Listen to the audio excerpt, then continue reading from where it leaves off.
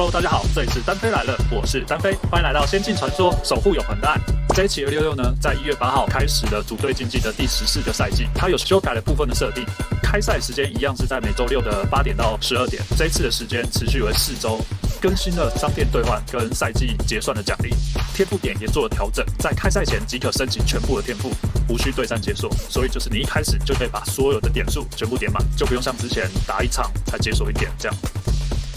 好，单队在这一期的配装上跟上一期其实没有太大的改变。还有很多部分的装备还没有到位，因为现在正在就是远古的装备交换的期间，装备没有在做其他大的变化，所以这一期也是稍微做一下伤害的记录。如果大家想知道单飞目前 SP 列的装备配置，可以去看我这一部影片，里面有一些介绍。那之后如果有更新到比较好的装备，获得更多伤害的装备的话，会再重新做一期影片分享给大家。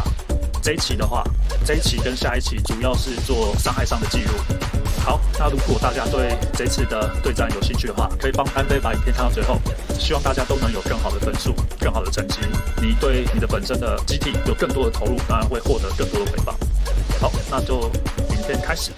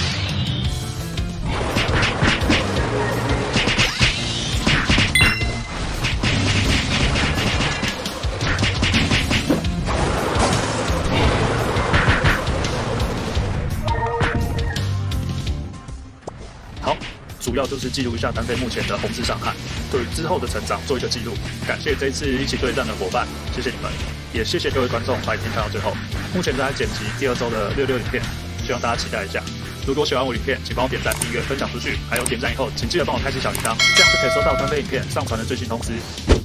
我也会不时的在单飞频道的社群里面发布一些新的消息，大家一定要记得关注我。好，那我们下期见喽，大家拜拜。